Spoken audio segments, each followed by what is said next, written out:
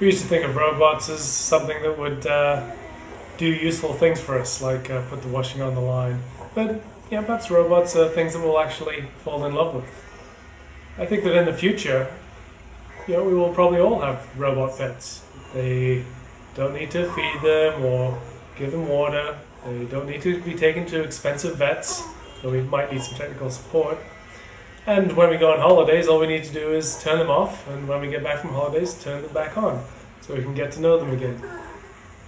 So Pleo, this uh, robot dinosaur, has been a massive success in Japan and America.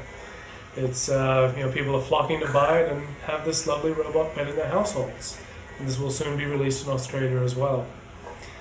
And it's interesting, we, we can actually form emotional ties with robots, you know, particularly cute little ones like, uh, like this one.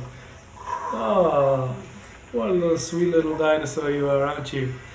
And uh, it's you know research recently in America showed that uh, elderly people in nursing homes responded just as well to a robot dog as to a real dog. And I think the children uh, you know really love this, form emotional ties with them. And in the next generation of robot pets, they will start to teach children. You know, they will be things which are really useful and part of the household, as well as something really lovely that we can grow and become part of our lives and part of our families.